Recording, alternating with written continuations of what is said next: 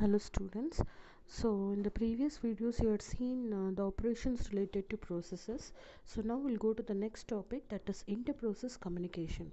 So when you say a system you can have n number of processes. So all this n number of processes will be executing concurrently so these concurrently executing processes can be either independent process or they can be cooperating process.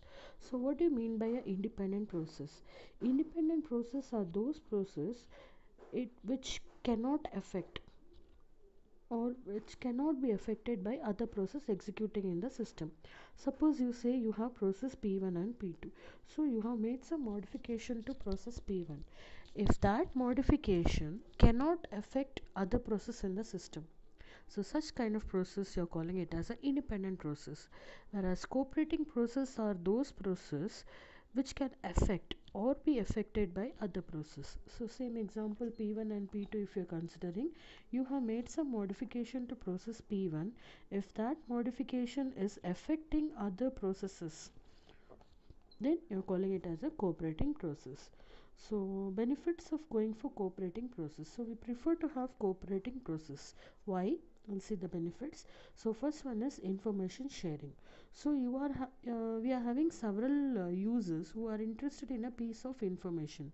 In such kind of situation it is better we go for the cooperating process wherein it can create an environment wherein concurrent access to the information is possible whereas next one is computation speed up. So assume we have a task and you want that task to run faster. In such cases what we can do we can divide the task into subtask and we can execute those subtasks simultaneously or parallelly. So thereby you can execute this task at a faster rate.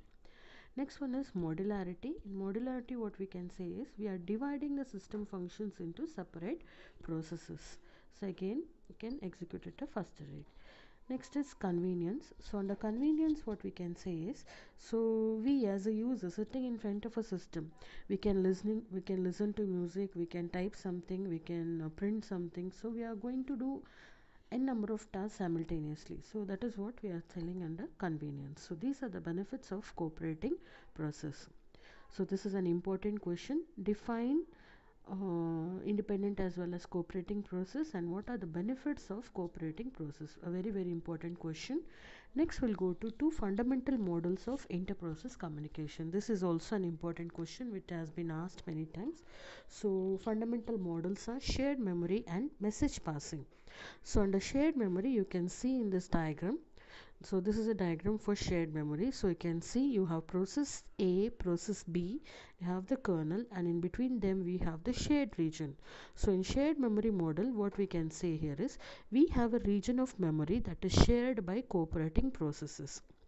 Process can exchange information by reading and writing to the uh, in the shared region. So you can see here process a process A is writing something to the shared region and that information is read by process B. So you can see here the arrow direction says, says process P uh, process A is writing something in the shared region which is read by process B. So this is a diagram representing shared memory model. Similarly next one you have is message passing model. In this case, communication takes place by means of message exchange between the cooperating process. So you can see here you have process A, process B.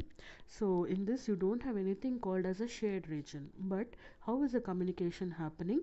By passing messages. So process A, you can see in the arrow, uh, arrow direction.